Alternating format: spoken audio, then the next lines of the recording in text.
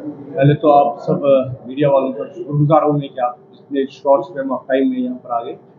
तो सेकेंडली आज हम जो हमारा जम्मू डिवीज़न है, यहाँ से पाँच कैंडिडेट्स जो हमारे हैं, जो अनाउंसमेंट हम कर रहे हैं।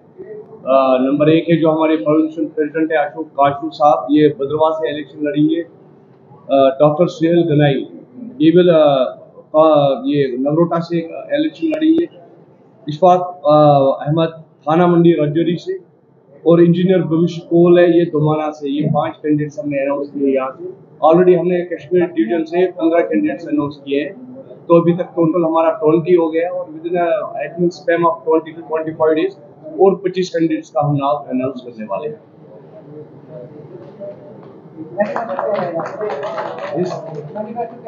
मैनिफेस्टो ऑलरेडी दो साल पहले हमने किया हुआ है, जो हमारे जम्मू कश्मीर के कुछ इश्यूज़ हैं, उनको लेकर हमारे यूथ को लेकर एम्प्लॉयमेंट को लेकर क्या कहते हैं इसे, इसमें बहुत सारे हमने ऐड किए हुए हैं। वो मैनिफेस्टो पूरा, शायद दो साल पहले हमने जम्मू से भी किया हुआ था अनाउंस आप ही मीडिया वालों के सामने किया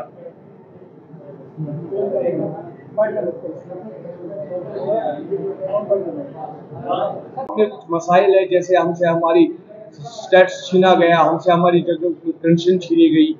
हमारा यूथ इस टाइम बेकार पड़ा हुआ है, नशे की तरफ़ रागिब हो रहा है। यूथ को एम्प्लॉयमेंट दिलाना ये ज़रूरी नहीं है कि गवर्नमेंट सेक्टर में मिले प्राइवेट सेक्टर में मिले एम्प्लॉयमेंट उनको कर लेना। या जो हमारी गरीब बेटियाँ हैं यहाँ पर, उनके लिए हम कह रहे हैं पचास हज़ार से ऊपर दो लाख उनको दिया जाए फॉर मैरिज इसी तरह से वुमेन्स का हमने लिखा हुआ है। विडोज के लिए हमने काम हमारे मैनिफेस्टो में है।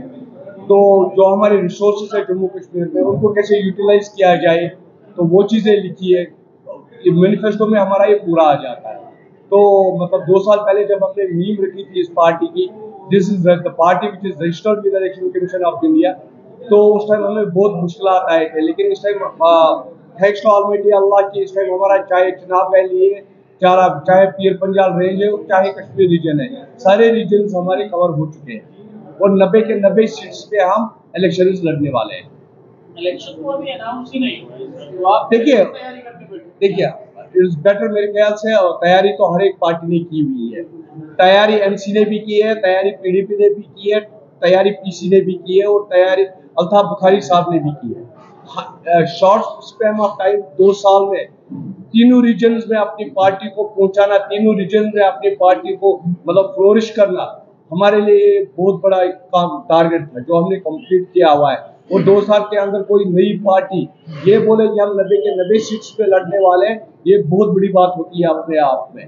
तो आगे भी हम तैयारी कर रहे हैं इलेक्शन आज हो जाए या कल हो जाए, या मैं ये मानूं कि बीजेपी नचा रही है हम लोगों को। कभी कह रही है कि यहाँ पर हालात ठीक है, कभी कह रही है नहीं इलेक्शन के लिए हालात मुनासिब नहीं है। कभी सुप्रीम कोर्ट कहता है सितंबर तक इलेक्शन करो, कभी कहते हैं कि नहीं, अभी नहीं हो पाएगा। लेकिन हमारे लिए जो टारगेट है, जब भी इलेक्शन हो जाए we want that we should be that जो मुद्दे अभी आपने गिना सपोर्ट जो है वो आपकी पार्टी को मिला। जी।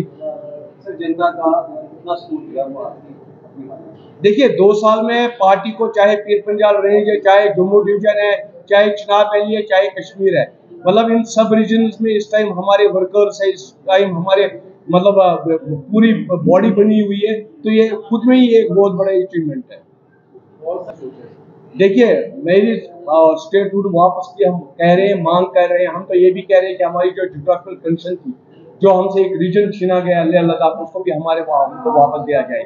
लेकिन ये सब चीज़ें उससे पहले मैं ये मानता हूँ कि हमारी यहाँ पर असेंबली बननी चाहिए। लोगों की एक रिप्रेजेंटेशन होनी चाहिए पब्लिक की अपनी एक रिप्रेजेंटेशन होनी चाहिए which is very very much necessary और जब एक अपनी असेंबली